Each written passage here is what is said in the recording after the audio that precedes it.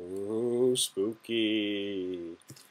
Hey, it's Tony Barlow. Uh, we've got Halloween coming up here at the moment in, um, well, just about in Australia, so uh, hence the spooky video.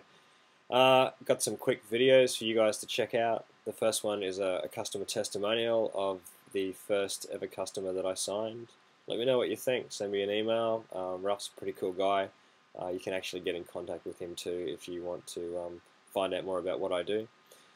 Second video that we've got there is a local blogger named Gideon who gets into a bit of uh, video marketing. Um, some really good explanations there that you might want to um, listen to.